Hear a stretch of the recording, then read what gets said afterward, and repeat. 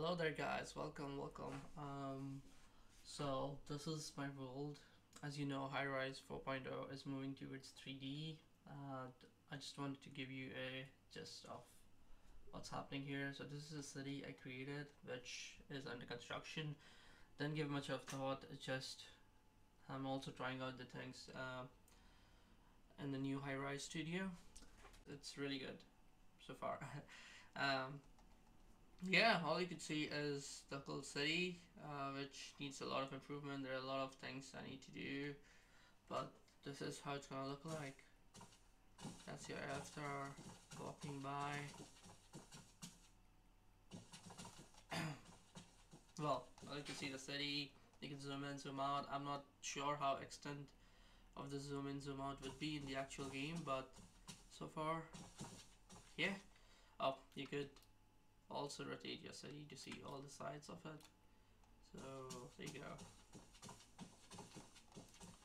Well, this is my city and I'm planning a lot of things adding onto here, starting with street furnitures, then moving on to more um, more like NPCs if they could be there so the city would look lively. For example, if um, hold on, uh, let me show you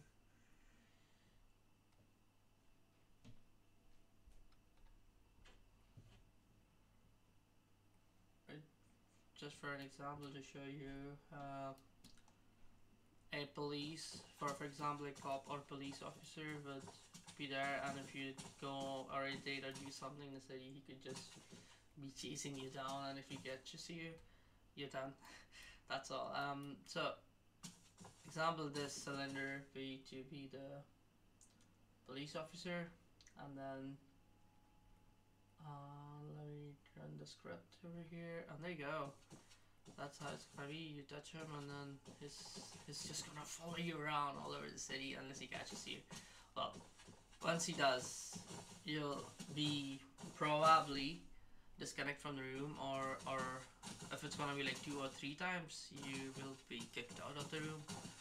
Um, yeah, that's that's my idea. I'm mostly also looking forward to the moving traffic over here.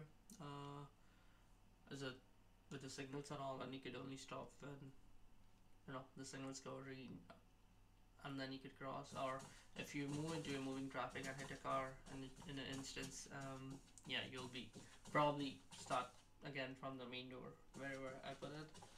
But that's all for now. This is just like a vlog, I guess. I'm just I'm just trying to document all my progress over here so I thought it would be better to have a channel as a repository for me um so yeah. Um I hope this gets published out soon and then I could have your feedback and we could work more to make the city more alive. Well I'm excited. Are you